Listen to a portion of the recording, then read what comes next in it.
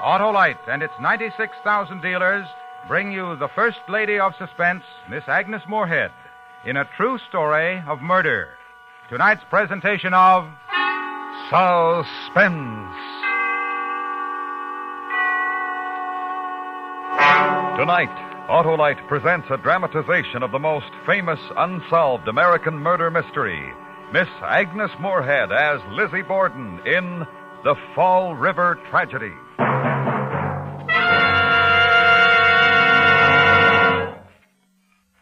Uh, Hap, why the downcast look? My battery is dry, Harlow, and my car won't start. Well, Hap, that's one of the big reasons you should have an Autolite Stay Full battery, the famous battery that needs water only three times a year in normal car use. You mean? Why, the Autolite Stay Full has over three times the liquid reserve of batteries without Stay Full features. And this helps prevent one of the major causes of battery failure. The Autolite Stay Full gives longer life, as proved by tests conducted according to accepted life cycle standards. That's the battery for me, Harlow. Well, then see your neighborhood Autolite battery dealer. He's equipped to give you the best service money can buy on all makes of batteries. To quickly learn his location, just call Western Union by number. And ask for me, Operator 25. I'll gladly tell you the address of your nearest Autolite battery dealer. And remember, from bumper to tail light, you're always right with Autolite. And now, with The Fall River Tragedy and the performance of Miss Agnes Moorehead, Autolite hopes once again to keep you in suspense.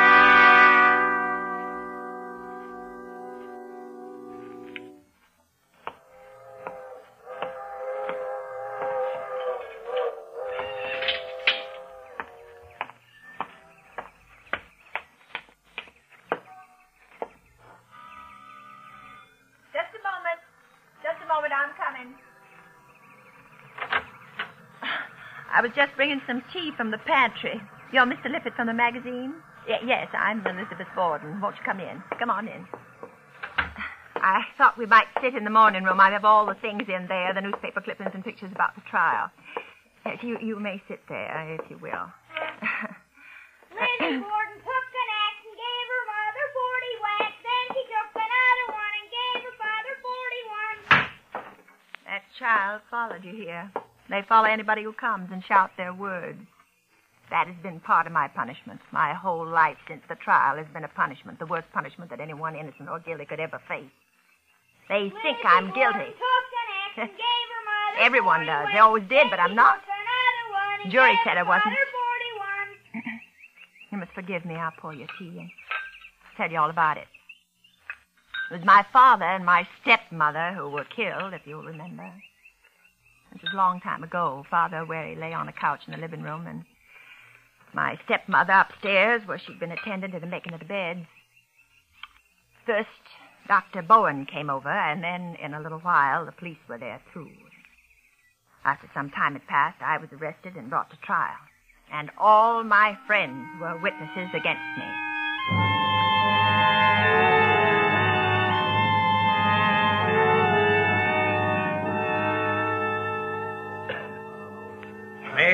Your honor, Mr. Foreman and gentlemen of the jury. Upon the fourth day of August, an old man and an old woman, husband and wife, each without a known enemy in the whole world, in their own home, upon a frequented street in the most populous city of this county, under the light of day and in the midst of its activities, were first one, then another, severally killed by unlawful human agency. Today, Lizzie A. Borden, the own daughter of one of the victims, is at the bar of this court, accused by the grand jury of this county of these crimes. As spokesman for the Commonwealth, it is my purpose to explain to you the grounds and the basis for that accusation.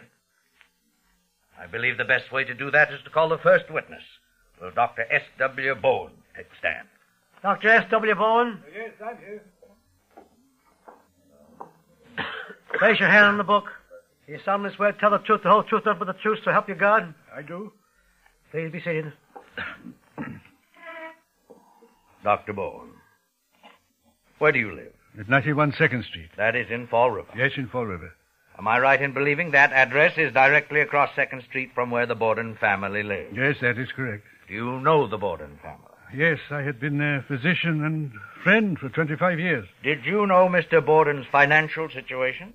Financial situation. Did you know if he were wealthy or not? Uh, Mr. Borden's estate, I do not hesitate to say, is considerably more than $300,000, To be inherited by whom, do you know? according to his will, to be inherited by his wife, And upon the condition of her death. to be inherited by his two daughters. His two daughters. That is the prisoner, Miss Lizzie Borden, and Miss Emma Borden. Yes. I see. On the morning of the 4th of August, where were you? I was working in the front garden How long had you been working there? between 9.30, as near as I can remember, and the time I was called to the Borden house. Had you seen anyone enter the house? Only Mr. Borden. The deceased. Uh, what time was that? Some minutes before 11, say 10 before. Tell us what you noticed. I um, saw him first coming up street. He turned through his gate, and then I heard him knocking on his door. The door was locked? Yes, I could see that he had tried to unlock it with his key, but the door must have been locked from the inside. Presently, he was let in by the maid, uh, Bridget Sullivan. Had you ever known that to happen before? No, And uh, you saw no one else enter the house the morning of the 4th? no. Now, Dr. Bowen, how did you learn of the trouble? The maid, Bridget Sullivan, told me. She came across and said Lizzie had found her father and had called her to go for help. And you returned to the house with her? Yes. Uh, who was there when you arrived? We went in the side entrance, which led to the kitchen. Miss Lizzie Borden and a neighbor, Mrs. Churchill. You there. remember uh, what was said at that moment? Oh, yes, I do. I, I saw Lizzie, and I said, Lizzie, what's the matter? And she said, Father's been killed or stabbed. I said, well, where is he? And, and she told me, in the sitting room. Is that all she said in that conversation at that time? Yes, I went into the sitting room. Will you describe what you saw in the sitting room? Mr. Borden was on the couch. He had the appearance of a man who had been killed while he slept. Could you explain that, Dr. Bow? There was no facial constriction such as is found in cases where the victim fought death. Were there signs of a struggle in the room? None? And uh, when you went out, did you speak to Miss Lizzie Borden again? Yes. Do you remember what you said? Yes, I asked her if she had seen anyone, and she said no. And then I said, Where were you? And she said, In the barn, to get some lead. Dr. Bowen, who discovered the body of Mrs. Borden? I did. When? And I went upstairs to get a sheet to cover the body of Mr. Borden. I saw her body when I reached the top of the front stairs. You could see her body from the stairway. Yes, Could you see it from the hallway upstairs? yes, Did you examine the body? yes, she'd been killed the same way as Mr. Borden. Do you know, sir, which of them died first? I believe it has been proved by Dr. Wood that uh, Mrs. Borden died approximately an hour before her husband did. Thank you, Dr. Bowen. That will be all.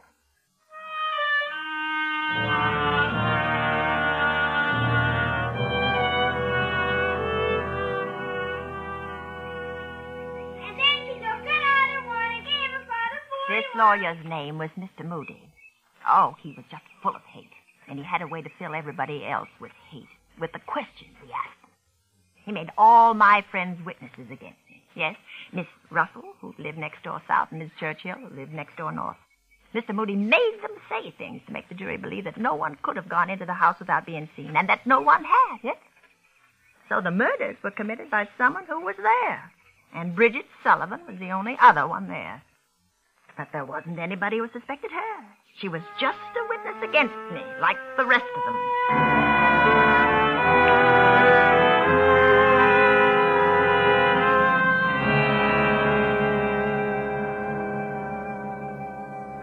Bridget Sullivan.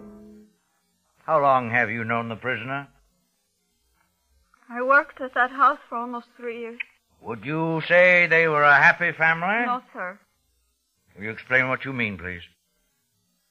There were feelings between Mrs. Borden and the two girls. Miss Lizzie and Miss Emma? Yes. Mrs. Borden was their stepmother. They didn't like her. Well, did they show their dislike in any definite way? Well, Miss Lizzie never called her mother. She always called her Mrs. Borden. Do you know why she did that? What started the uh, feeling? Yes. There was an argument about some property. Mr. Borden gave some over to Mrs. Borden. Miss Lizzie thought his property should go to his own flesh and blood. How do you know this happened? I heard her arguing with her father. You remember the words that were spoken? They argued about the property, and Mr. Borden said, Mother has a right to it. And Miss Lizzie said, Don't call her mother. She's a mean old thing, and we hate her. By we, she meant her sister and her. Yes, And uh, from that time, Miss Lizzie never called Mrs. Borden mother. never that I heard. Miss Sullivan, what were you doing the morning of the murder? I've been washing windows. Uh, who was in the house that morning? Miss Emma was not. She'd been gone since the day before, visiting friends. Mr. and Mrs. Borden had breakfast, and then he left Well, what time was that? near nine o'clock. What about Mrs. Borden? She was dusting. She told me to wash the windows. Then I never saw her again. Will you repeat that, please? I never saw her again. I even asked Miss Lizzie where she was, and she told me she went out. Miss Lizzie told you her stepmother had gone out? Yes. She said a note had come and that Mrs. Borden had gone to see a sick friend. Did you see the note? No, sir. No, never saw it. Did you see Mrs. Borden leave? No, sir. If she had indeed left, which door would she have gone out? The front door, sir. And yet that was the door you unlocked and opened to admit Mr. Borden a few minutes before eleven. Yes, How was it locked? it was bolted from the inside. Did you lock it? No, sir. And obviously no one going out that way could lock it from the outside. No, sir. What about the other doors? They were locked. You sure of that? Yes, sir. So, no one could have come into the house that morning. I don't think so. All right. Now, when you heard Mr. Borden knock on the door, you went to it. Yes, sir. Miss Sullivan, where was Lizzie Borden at that moment? Upstairs or on the stairway. How do you know that's where she was? Because when I was walking to the door, I heard her laugh. You heard her laugh. Yes, sir. And she came down the front stairs after I let her father in. What was she laughing at? I don't know, sir. She didn't. Uh, tell us what happened then after Mr. Borden came in. I heard her ask how he felt. He'd been sick. Then I heard her get the couch ready so he could lie down. By that time, I'd gone through the kitchen to the rear stairway where I went up to my room. And how long did you stay there? Twenty minutes, I think. Then Miss Lizzie called from downstairs to say that her father had been killed. Uh, did you speak to Miss Lizzie? Yes, sir. When she told me her father was killed, I asked her where she was. And how did she answer? She said, I was up in the barn. Well, thank you, Miss Sullivan. That will be all.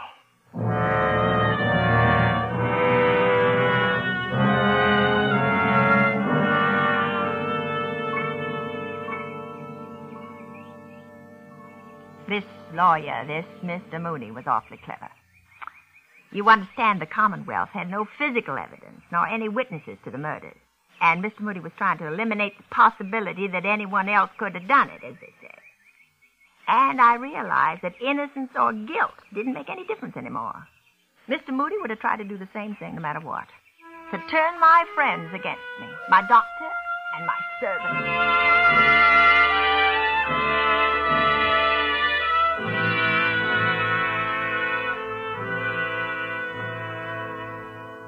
Captain Harrington, being in charge of the investigation of the day of the murders, did you question Miss Lizzie Borden? I did.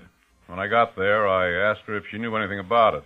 She said she did not, that she'd found him when she came into the house. I asked her where she'd been, and she said she'd been in the loft in the barn. I asked her how long, and she said she thought it'd been 20 minutes. And Did you investigate that statement? I did. I went to the loft in the barn. The floor was thick with dust. When I walked across it, I left footprints. But there were no other footprints up there. There was no evidence that anyone else had been there. No evidence at all. That will be all, Captain Harrington. Thank you. I uh, would like to ask the jury to pause for a moment and weigh the testimony heard thus far. I should like to remind you that it was given by persons who would rather not speak against the prisoner and who spoke only the truth under oath. now, I should like to ask the prisoner, Miss Lizzie Borden, to take the stand.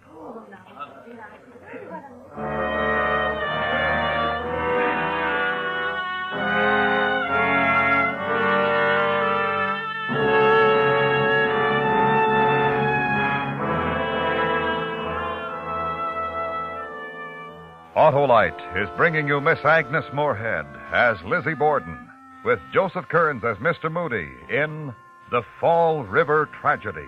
Tonight's production in radio's outstanding theater of thrills, Suspense.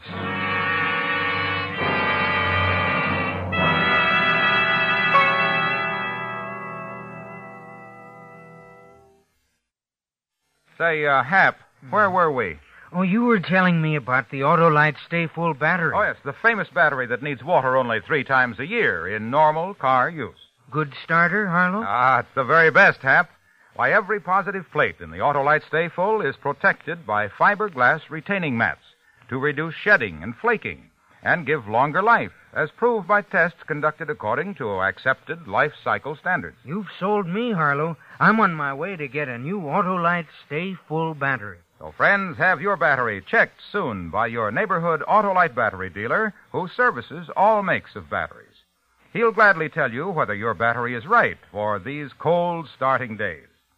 And if a replacement is needed, your Autolite battery dealer has an Autolite Stay Full battery for your car. To quickly learn his location, just call Western Union by number. And ask for me, operator 25. I'll tell you the name of your nearest Autolite battery dealer. where you can be sure of getting an Autolite Stay Full battery, the battery that needs water only three times a year in normal car use. And remember, from bumper to tail light, you're always right with Autolite. And now, Autolite brings back to our Hollywood soundstage Miss Agnes Moorehead as Lizzie Borden in Elliot Lewis's production of The Fall River Tragedy. A true story, well calculated to keep you in suspense.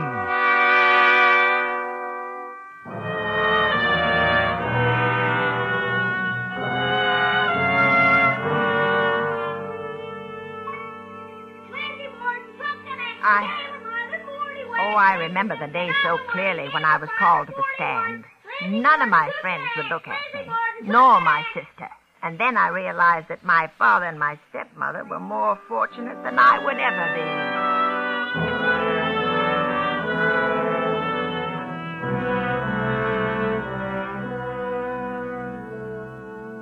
be. You, Lizzie A. Borden, swear to tell the truth, the whole truth, help you God? I do. Please be seated.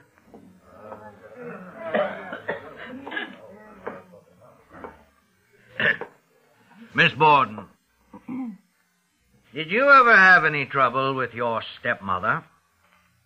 No. Miss Borden, do you mean not within that past year? No, about two years oh, ago. Oh, then you did have trouble with her. If you wish to call it that. What was it about? About my stepmother, stepsister, Miss Whitehead. Was it a violent expression of feeling? It was simply a difference of opinion In regard to what? property. Her father's house was for sale on Fourth Street, and my father bought her stepsister's share and gave it to her. To your mother? My stepmother. We thought what he did for her, he should do for his own flesh and blood. Did you at that time say to your father, don't call her mother, she's a mean old thing and we hate her? I. I don't know. I may have, but I don't remember. Were you always cordial with your stepmother? That depends upon one's idea of cordiality. Was it cordial according to your ideas of cordiality? Yes. I didn't regard her as my mother. I stopped calling her mother after the affair regarding her stepsister Why did you leave off calling her mother? because I wanted to. Have you any other reason to give me? No. Then that will have to be sufficient. now, Miss Borden, we come to the morning of August 4. That morning, did you breakfast with your father and stepmother? No, I came downstairs at about nine. They had finished eating. Did you see your father Yes, he was in the sitting room reading the Providence Journal. and your stepmother? Saw her in the dining room. She she had a dusting cloth. That was about nine. Yes. When did you see your stepmother again? After I'd eaten a pear and come back into the dining room, she told me she had had a note and was going out to see a sick friend. She said she'd get the dinner. Did you see the note? No, no, sir. Did you see your stepmother leave? No, sir. Or did you hear her leave? No, no. How long did you stay downstairs? Oh, I'm not sure. I, I ate a pear and, and drank a cup of tea and then went back to my room. Your room. That's up the front stairs to the rear. Is that correct? Yes. That is across the hallway and a few paces to the rear of the room where your stepmother's body was later found. Yes.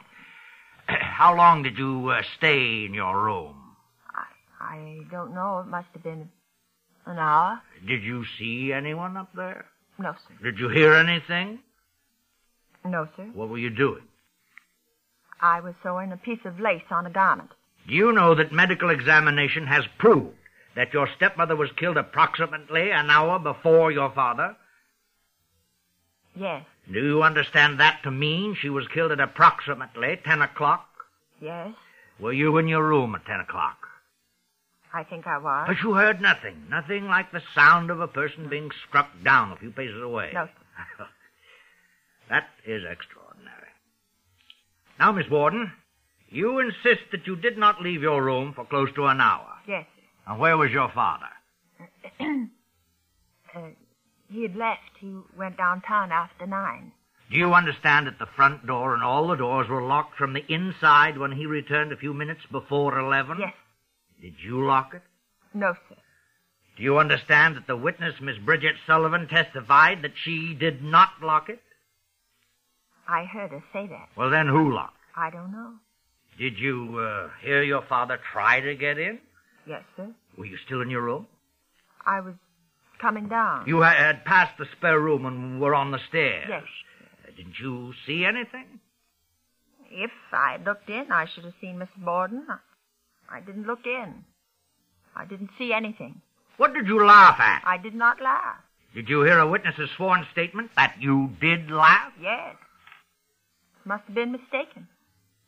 I see.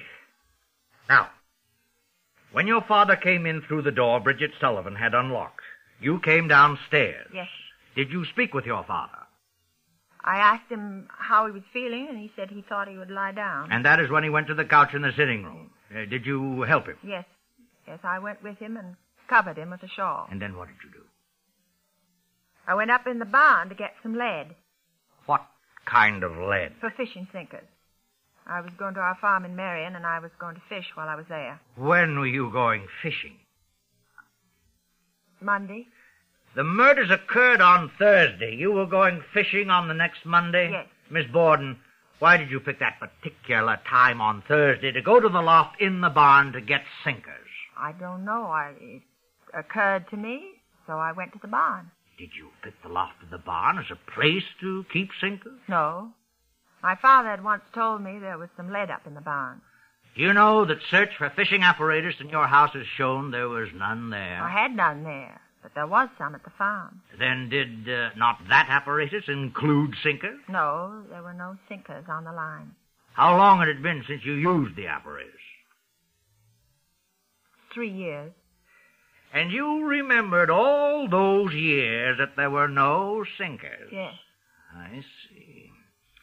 How long do you think you were occupied in looking for sinkers in the loft? About 15 or 20 minutes.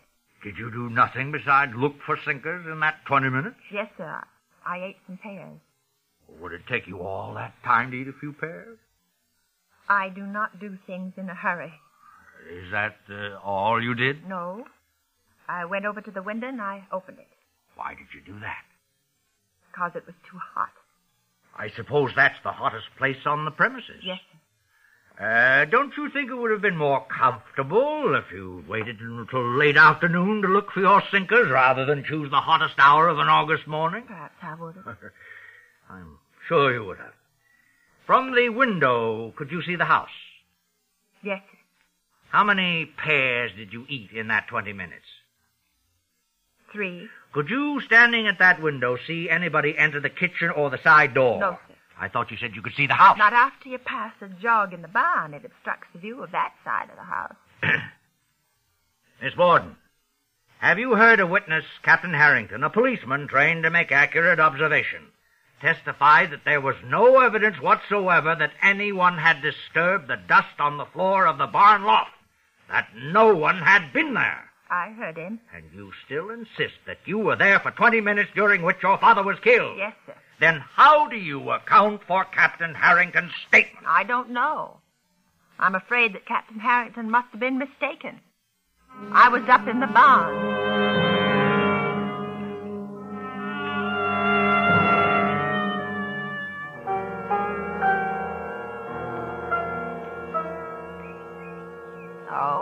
Mr. Moody was terribly clever.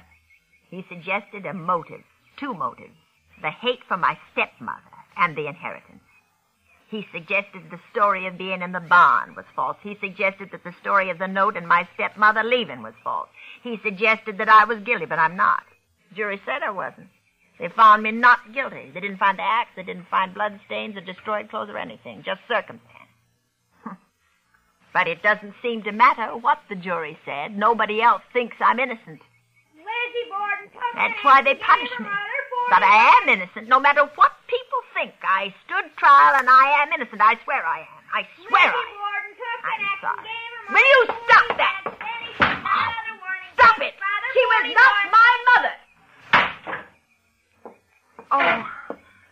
Oh, you're leaving. Don't, don't go. I haven't finished. I haven't shown you the pictures or the newspaper clippings. I saved them all to show somebody. Why are you leaving like this, Mr. Lippert? You haven't even finished your tea. I didn't finish telling you my...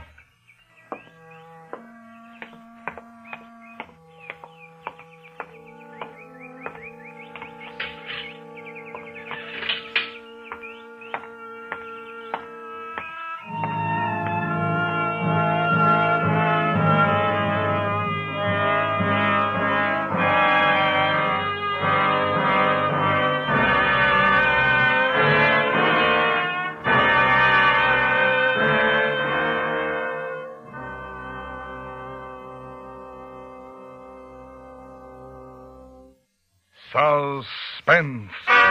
Presented by Autolite. Tonight's star, the First Lady of Suspense, Miss Agnes Moorehead. This is Harlow Wilcox speaking for Autolite, world's largest independent manufacturer of automotive electrical equipment. Autolite is proud to serve the greatest names in the industry. That's why during the early months of 1952, the Autolite family will join together in saluting the leading car manufacturers who use Autolite products. Our Autolite family is made up of the nearly 30,000 men and women in 28 great Autolite plants from coast to coast and in still other Autolite plants in many foreign countries.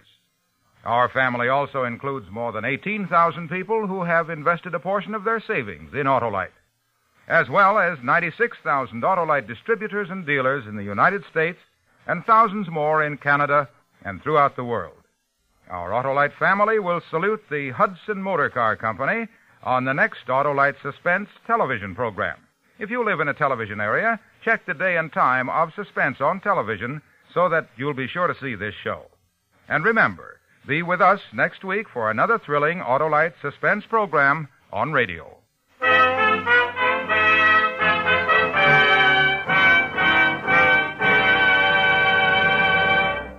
Next week on Suspense, our star will be Mr. Richard Basehart, who will portray a man who found it necessary to commit the perfect crime, a tale we call The Perfectionist. In weeks to come, we shall also present Mr. Charles Boyer, Mr. J. Carrol Naish, and Mr. James Mason, all on Suspense. Suspense is produced and directed by Elliot Lewis, with music composed by Lucien Moraweck and conducted by Lud Gluskin. The Fall River Tragedy was written for Suspense by Gil Doud. In tonight's story, Joseph Kearns was heard as Mr. Moody. Featured in the cast were Peggy Webber, Herb Butterfield, Rolfe Sedan, Will Wright, and Stuffy Singer. Agnes Moorehead may currently be seen in the Wald Krasna RKO production, The Blue Veil. And remember next week on Suspense, Mr. Richard Basehart in The Perfectionist. This is the CBS Radio Network.